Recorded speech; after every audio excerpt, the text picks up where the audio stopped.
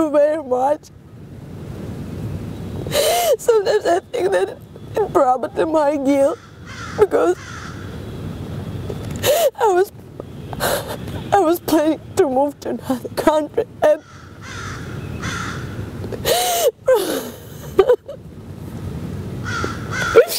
probably she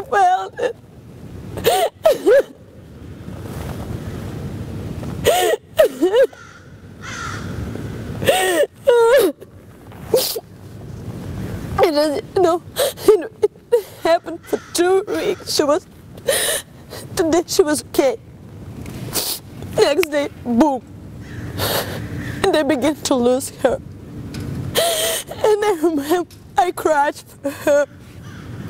And I begged, I was begging her, please don't die because I knew that she was going to die. And I asked God, please, don't take her from me.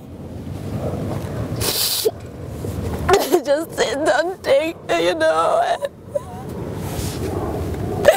But to be honest, sometimes I thought probably it's better. Honest to myself, I thought probably it's better for her. But I knew that, I was sure that it's, it was only my guilt. Only my guilt because she didn't deserve it. She should live more and more.